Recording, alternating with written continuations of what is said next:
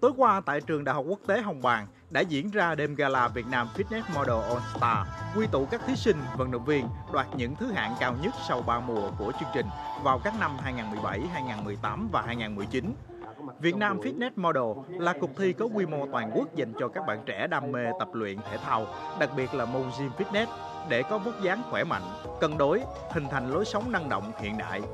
Đây cũng là xu hướng và tiêu chí của các cuộc thi về hình thể quốc tế trong những năm gần đây. Chính vì vậy, một số thí sinh bước ra chương trình đã đạt được những thứ hạng cao và khẳng định hình ảnh của mình tại các cuộc thi ở khu vực và thế giới.